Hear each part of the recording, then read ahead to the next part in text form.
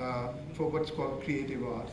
And uh, the, the, it has uh, architecture, urbanism, fashion design, um, um, film institute, and so these are all four disciplines built together around what you see uh, uh, in the circle is an auditorium, lab, library on top, and a big conference room. So they're all built around it.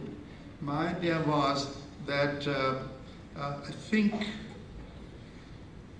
uh, perhaps Sanchi Stupa was in my mind, or um, many of the other uh, uh, Buddhist buildings where there is an idea of staircase going up uh, in, um, around the buildings in, at Pagan in Burma, which I've seen.